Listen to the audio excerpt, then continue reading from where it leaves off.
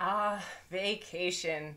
I'm actually recording this video right before I leave for vacation, so advertisements for vacation related services have been catching my attention. And I've been seeing a lot of ads for hotel alternative accommodations like Airbnb and Vrbo. As I watch their commercials, I'm reminded of the importance of really knowing your target audience and how to connect with them through the power of reaching the deeper emotional reason they buy from you. Hi, I'm Tracy Pachaki, the marketing strategist and owner of Illustrated Designs, and today we're, view- we're reviewing what Vrbo is doing right and what you can learn from them.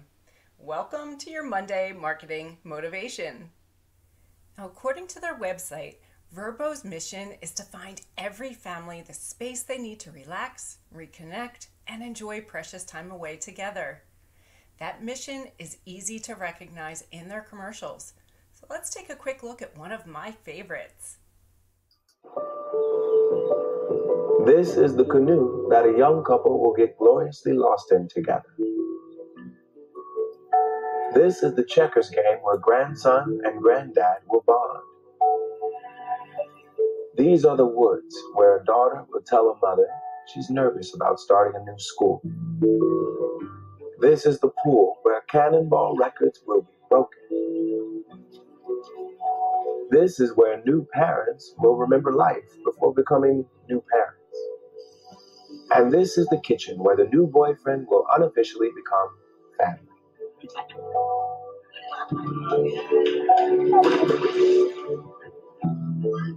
These are the Vrbo vacation homes waiting for you to fill with your family.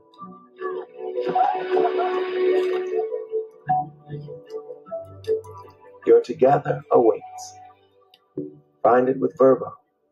Notice they didn't mention how many rentals they have available, how easy their website is to navigate. They never mention any prices, selection, or details about themselves or their properties. They didn't list any reasons to use them over Airbnb or any benefits to renting a home versus staying in a hotel. But what they did do is speak directly to the reason that many of us want or need to go on vacation. They spoke to what we dream of when we visualize ourselves relaxing and reconnecting with friends and family. So I believe that not only did Vrbo write their mission statement perfectly, they used it effectively to reach their target audience on a deeper emotional level, which invites us to head to their website to learn more.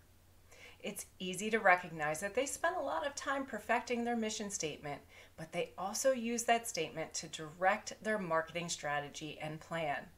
They spent time really digging into why their target audience buys from them and spoke directly to those reasons. Now, you might be thinking, as a small business owner, I don't have the budget to hire a big marketing company or produce and run ads on TV. So, what can I learn from Vrbo?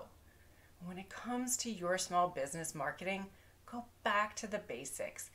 Do you even have a mission statement that really resonates with your vision and purpose? And if you do, ask if you're using it to inspire the look and the feel and message of your brochures, social media posts, and website.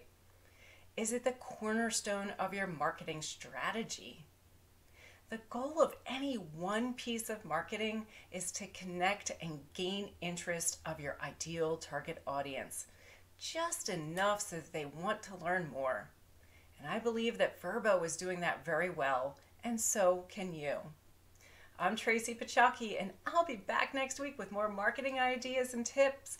Until then, please comment below with your biggest marketing challenges. Remember Illustrated Designs for all of your marketing display, and graphic design needs.